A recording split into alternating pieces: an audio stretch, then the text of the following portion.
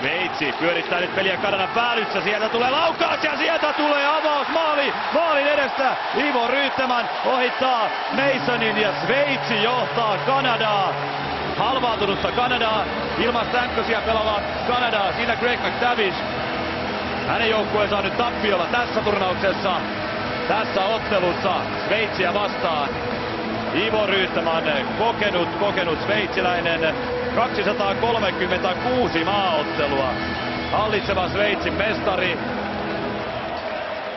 Ja tulihan se sieltä kun tarpeeksi kokeiltiin. Ja tuosta epäonnistuneesta laukauksesta Derunsilta kiekko suoraan Ryyttämanille. Ja ehkä Derun sitten pelin jälkeen sanoi, että se oli tarkoitettu syöttö. 1-0 Sveitsi. Deruns maalin eteen ja Sveitsin toinen maali.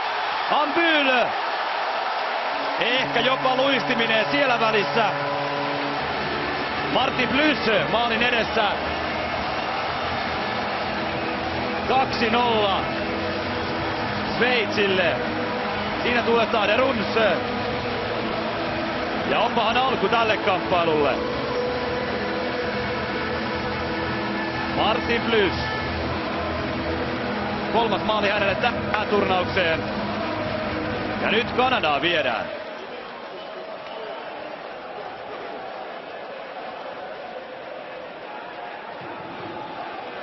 Sieltä se taitaa joko luistimista tai maidosta kimmota maaliin. Tässä seurataan maalintekijä Plyssiä.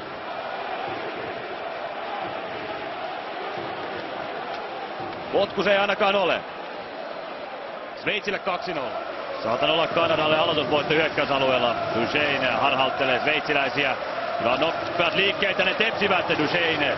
Kuitenkin liimataan sitä kiekko maalin edessä Kanada tasoittaa, äh, korjaa kaventaa yhteen kaatteen. Tavares iskee Kanada maalin melkeinpä välittömästi tuon Sveitsin toisen osuman jälkeen.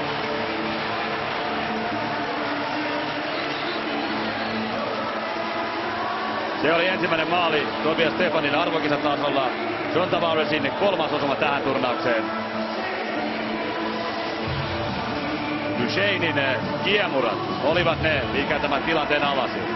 Täysin vapaaksi unohdettu sinne maanin kulmalle Tavares. Se oli Betsinan mies. Pääsi laukomaan. Kiekko palautuu Romille. Maalin taakse Ambyylille. Ambyyle pienestä kulmasta ja iskee maalin! Se menee kyllä maalivahti Masonin piikkiin. Ja siinä saa ottaa huikkaa McTavish, jos jonkinlaista, päästäkseen tästä maalista yli. Maalin kulmalta Andrea Sambyl. Toinen maali tähän turnaukseen hänelle. Ja Sveitsin kolmas maali. Tässä vielä tämä tilanne. Katsokaa ja hämmästelkää. Miinus kulmasta.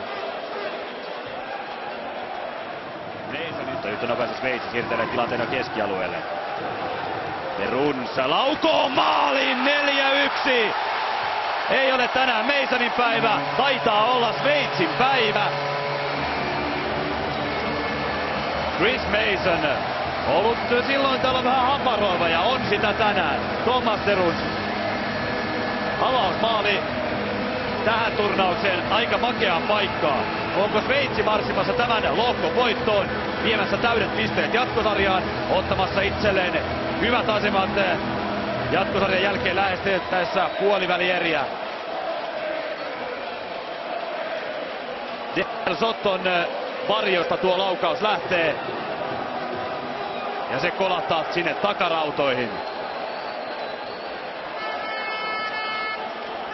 Kainalosta menee. 4-1 Sveitsille.